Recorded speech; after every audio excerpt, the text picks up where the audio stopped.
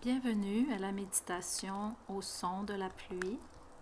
Lorsque vous entendez la note du gong, vous pouvez commencer à vous concentrer sur votre respiration et faire un scan de votre corps.